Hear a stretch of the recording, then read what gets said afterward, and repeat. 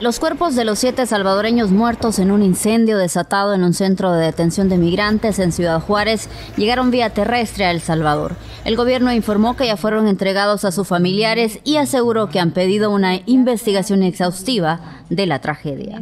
Nuestro país busca un esclarecimiento de los hechos, por lo cual hemos sostenido reuniones claves y pusimos a la disposición también que nuestros sobrevivientes pudiesen formar parte de la carpeta de investigación.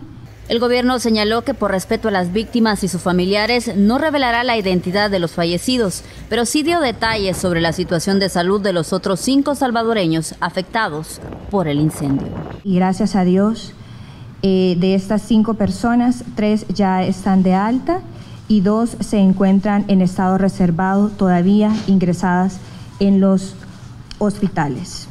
Organizaciones defensoras de los derechos humanos señalan que la tragedia ocurrida con estos migrantes pone sobre la mesa la necesidad de atender las causas de la migración irregular.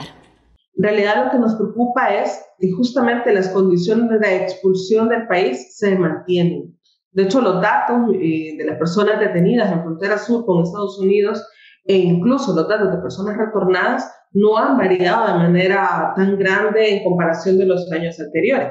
De acuerdo al gobierno salvadoreño, las edades de las víctimas oscilan entre los 35 y 40 años. La administración informó que tres salvadoreñas sobrevivieron al incendio y continuaron su camino hacia Estados Unidos.